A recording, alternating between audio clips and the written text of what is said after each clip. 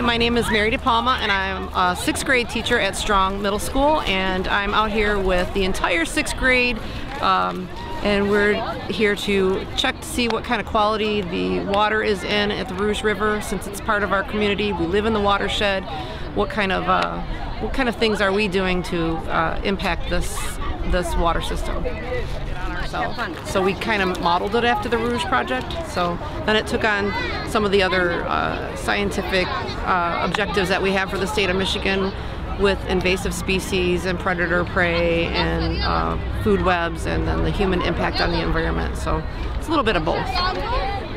And how long has this been going on for? Uh, we've been doing this since probably hmm, 2002, maybe, I think is our first year that we've been doing it um, every year since. So we, all, we bring the entire sixth grade out every year.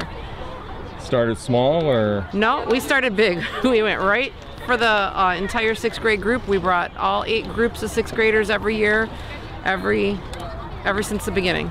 And what do they use with this data?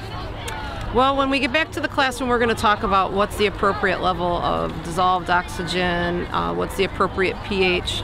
Uh, we've already uh, began talking about uh, the health of the environment and what kids can do uh, to improve. We've looked at invasive species, uh, how can you prevent invasive species.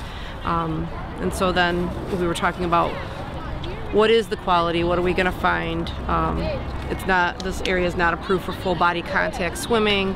Um, it's a catch and release is what the last warning I saw about fishing in right in this area. And so then um, you know, it was more about uh, what's the appropriate phosphate and ammonia and, and where do we get phosphate and ammonia and what impacts the level of dissolved oxygen. And then when we get back, we'll write about um, what suggestions do you have now that you got a chance to look around and you see what suggestions do you have for uh, the people in your community? Well, we have a chemical test sheet here and we're going through several different um, chemical tests by taking a sample of water. We have ammonia and chlorine, which should be at about a zero reading, and dissolved oxygen is uh, more up about between six and eight. That uh, if there's enough aquatic life in the river, then um, animals have some oxygen dissolved to breathe. They need to be a bit higher. Um, lately, we've been reading on that one a little bit lower.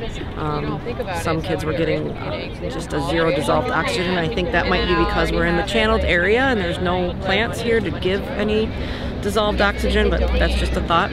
And then we have uh, two different ways of testing pH, and we're just doing a comparison between the two to see if we get the same reading. Um, and that should be at about uh, between six and a half and seven and a half. And then we're doing a, a nitrate and a phosphate, which also should be zero. We uh, have discussed already what, what kind of uh, what kind of human activity will increase these things and why why might we get that kind of reading.